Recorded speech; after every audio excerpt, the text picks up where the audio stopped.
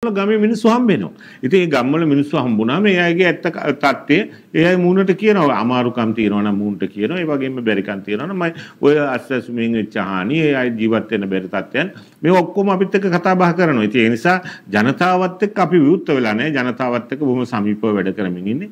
ඉතින් ඒ නිසා අපිට පැහැදිලි ජනතාව තිබුණු පීඩනයේ සම්පූර්ණයෙන් අයින් වෙලා නැහැ. තාමත් තුන් වේල හොඳට කාලා ජීවත් වෙන්න පුළුවන් කියලා මම කොහොමදවත් පිළිගන්නේ නැහැ. අමාරුකම් තියෙනවා. හැබැයි 2022 ඇතිවෙච්ච මැයි වෙනකොට ජූලි වෙනකොට තිබුණ තත්ත්වයට වඩා යම් යහපත් තැනකට ඇවිල්ලා තියෙනවා. ඒ නිසා ඒ මේක කළමනාකරණය කරගන්න පුළුවන් කියන විශ්වාසය ජනතාවටත් එමින් තියෙනවා. ඉතින් ඒක සමාන දැන් ඔබේ ওই කරුණු දැක්වීම ඇතුළේ මට දිගින් දිගටම දැනෙච්ච දේ තමයි ඔබතුමා ජනාධිපතිතුමාගේ මේ ගත්ත ක්‍රියාමාර්ග ක්‍රියාකලාපය පිළිබඳව හොඳ සුබවාදී තැනක ඉන්නවා. හොඳ ධනාත්මක තැනක ඉන්නවා කියන දේ අපිට පේන්න තියෙනවා. යම් ආකාරයකින් දැන් එළඹෙන ජනාධිපතිවරණයේදී මේ මේ තත්ත්වය උඩ ඔහු මැතිවරණයට එනවා නම් ජගත් කුමාර එතනදී ඉද අවසානයේ නෑ දැන් මම ඔබට කිව්වා මගේ සුභවාදී සහ අසුභවාදී දෙකම කිව්වා. මටත් බේර ගන්න තියෙනවා. හිනාව ඇතුලේ මට තේරෙනවා ඔබට ජනාධිපතිතුමාට කිට්ටුයි දැන් රාජපක්ෂ ඔබට හිතෙනවා ජනාධිපතිතුමාට කිට්ටුයි කියලා. විතක බුද්ධිකට හරි කාට හරි රටේ ජනතාවට හිතෙන්න පුළුවන් මං වෙන පක්ෂයක් මාරු කරන්න හිතන් ඉන්නේ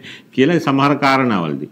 මම මගේ හෘද සාක්ෂියත් එක්ක සාමාන්‍ය ඡන්ද දුන ජනතාවත් එක්කයි තියෙන තියෙන ගන්න. ඉතින් පැහැදිලිව මම තාම ආණ්ඩුවේ ඉන්නවා. ආණ්ඩුවේ ඉන්න ගමන් ජනාධිපතිතුමා කරපු හොඳ දේවල් කියනවා. ඒ වගේම අඩුපාඩු ටිකත් මම කියනවා. ඒ අඩුපාඩු නිවැරදි කරගත්තේ නැත්නම් මට ඒ ජනාධිපතිතුමාත් එක්ක ඉදිරි වැඩපොළේ ඉන්න බැරි වෙයි. මම ජනාධිපතිතුමාටත් කියලා තියෙනවා. අගමැතිතුමාටත් කියලා තියෙනවා. ජනාධිපතිතුමාගේ හිතවත් කණ්ඩායම් වලටත් කියලා තියෙනවා. මේ යන වැඩපිළිවෙලත් එක්ක මම පොදුජන පෙරමුණේ මහින්ද රාජපක්ෂ ජනාධිපතිතුමාට තියෙන ආදරය ගෞරවය තියෙනවා එතුමා මේ රටේ ත්‍ස්වාදය නැති කරලා මේ රට නිදහස් කරගෙන අභිවදානය දුන්න නායකයා.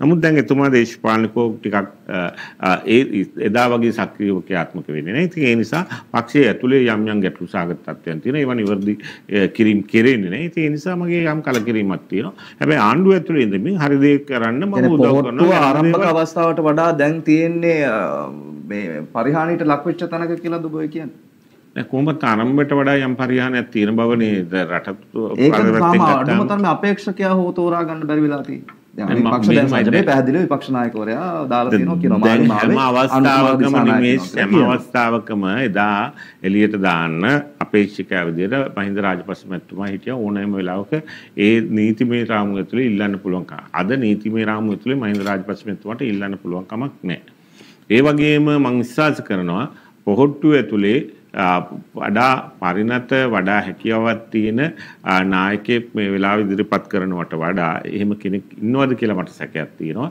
දසත නිවස් ප්‍රධාන පුවත් විකාශය සවස් සහයයි විසි පහට සුප්‍රීම් ඔස්සේ. දවසේ දසත පැතිරුණු පුවත් ඇසිල්ලෙන් දැනගන්න. දසත YouTube නාලිකාව සබස්ක්‍රයිබ් කරන්න.